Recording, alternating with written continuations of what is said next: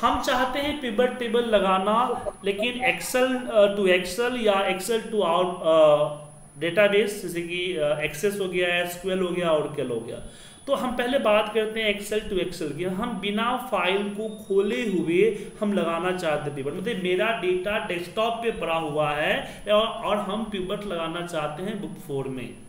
तो उस केस में आपको एक ब्लैंक एरिया पे जाइए, जहाँ पे पिवट लेना है आपको, एक नई फ़ाइल के ब्लैंक एरिया में, और पिवट टेबल पे क्लिक करें। इसी में आपको यहाँ दिखेगा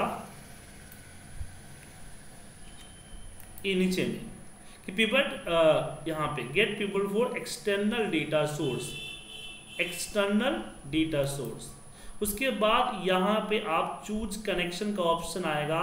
इस चूज़ कनेक्शन पे क्लिक करें ब्राउज फॉर मोर पे जाएँ और आप जो है अपना एक्सेल फ़ाइल जो डिफरेंट लोकेशन में सेव है, उसको सिलेक्ट करें एंड ओके कर दें। ओके okay करते ही यहीं पे आपको पिवट आ जाएगी। आप यहाँ अपना पिवट लगा सकते हैं।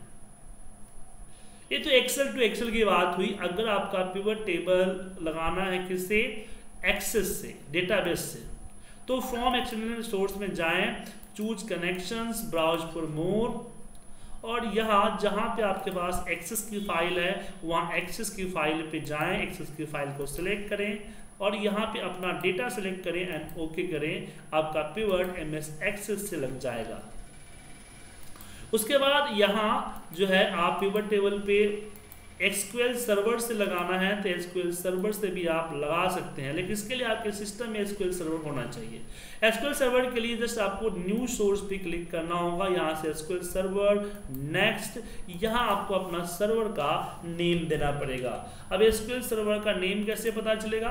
तो जब एक्सक्यूएल सर्वर आप ओपन करते हैं, डेटाबेस को कनेक्ट करते हैं, वहीं पर आपको एसक्यूएल सर्वर का नेम दिखेगा। बस यहाँ पे पेस्ट करना है।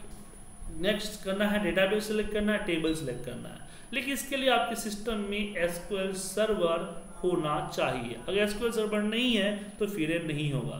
एसक्यूएल सर्वर के अलावा आप ओरिकल से भी कर सकते हैं यहाँ। देखिए ओरिकल का भी एरिकल से भी कर सकते हैं। डेटा फ़ीड ओ सबसे कर सकते हैं।